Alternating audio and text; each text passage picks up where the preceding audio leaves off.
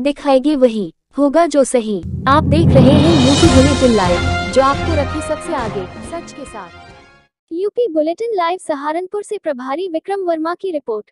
Saharanpur police को मिली बड़ी सफलता, फर्जी तरीके से ज़मीन का बेनामा करने वाले गिरोह के तीन सदस्यों को पुलिस ने गिरफ़्तार किया। कोतवाली देहात पुलिस ने फर्जी तरीके से किसी और को ज़मीन को, अपने नाम कर फर्जी इकरारनामा करने वाले तीन सदस्यों को गिरफ़्तार किया है। सहारनपुर पुलिस द्वारा ज़मीन के नाम पर ठगी करने वाले तीन शातिर अभियुक्तों को गिरफ़्तार किया है। तीन शातिर अभियुक्त पिछले काफ़ी लंबे समय से ज़मीन खरीद फरोख्त के नाम पर लोगों से ठगी किया करते थे, जिनको आज सहारनपुर पुलिस द्वारा एक अभियुक्त की शिकायत के बाद गिरफ़्तार किया गया है। पूरा मामला सहारनपुर थाना देहात कोतवाली क्षेत्र का है, जहाँ पर पिछले कई सालों से तीन युवकों द्वारा ज़मीन के नाम पर लोगों से ठगी का खेल खेला जा रहा था। लोगों को मौके पर जगह दिखाकर और उसका इकरारनामा कराकर लोगों से पैसे की बड़ी मोटी ठगी का खेल खेला जाता था। यह लोग किसी की भी खाली पड़ी ज़मीन को चिन्हित कर, उसके मालिक की जानकारी निकाल कर फर्जी तरीके से उसके कागजात तैयार कराकर इकरारनामा करके लोगों से पैसों की ठगी करके फरार हो जाते थे।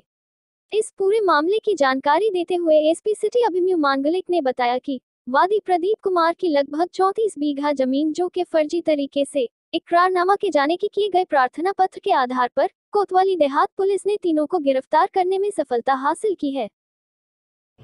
जी हाँ कोतवाली देहात टीम ने एक, जो पूरा रैकेट चल रहा था, उसका अनावरण किया है। रैकेट का मॉडस ऑपरेंडी इस तरह रहता था, ये कोई ज़मीन होती थी, उसको देखते थे, उसी ज़मीन का जो मालिक है, उस मालिक के फर्जी दस्तावेज़ बनवा के, आधार कार्ड, पासबुक बनवा के, एक फर्जी आदमी को खड़ा करते थे, और उस आदमी से एक राहनामा करवा लेते थे।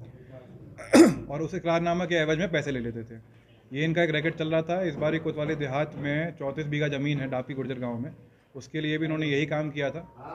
तो जैसे ही पुलिस को खबर मिलती है इन तीनों लोगों को गिरफ़्तार कर लिया गया है। आज कोर्ट में इनकी पेशी हो रही है। कितना लगभग जी कुछ बीस से पच्चीस लाख रुपए एग्री हुआ था इसका।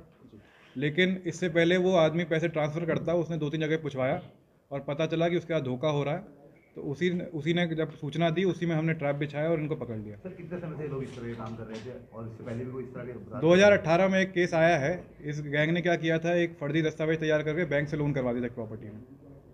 तो क्या कुछ बरामद जी इनके पास से जो फर्जी दस्तावेज़ हैं आधार कार्ड और पासबुक ये सब बरामद हुए हैं। उसके पास से इनकी मोटरसाइकिल बरामद है सर यही लोग हैं इनके अलावा कोई कचहरी का मुंशी है कोई एडवोकेट वगैरह उस पर जाँच कर रहे हैं जिसने इकरारनामा बनाया। इकरारनामे जो विटनेस होंगे विवेचना के दायरे में जो लोग इसमें इन्वॉल्व पाए जाते हैं, उन पर भी कार्रवाई होगी।